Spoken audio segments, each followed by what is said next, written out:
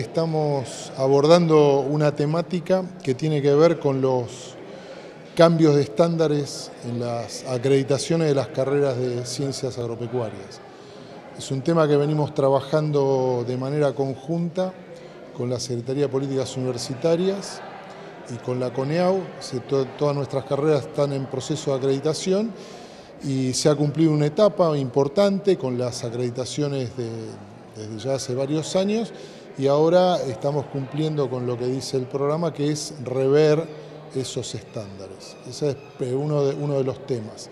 Después abordamos otra temática, hubo una reunión de decanos del CAS, que es un foro de decanos de Facultad de Ciencias Agrarias del Mercosur y asociados, que nos representó el ingeniero Conrero, donde se está pensando un plan de movilidad e intercambio para estudiantes eh, y profesores, tanto de grado como de posgrado, entre los países, los países miembros. Creo que eso es un paso muy interesante, lo estamos también desarrollando para, para nuestro país, creo que somos el país de, de este grupo de decanos que tiene más avanzado esta temática. Creo que hay un gran desafío en el cual por eso estamos trabajando en los estándares, que es modernizar nuestros planes de estudio y actualizarlos a las tecnologías actuales.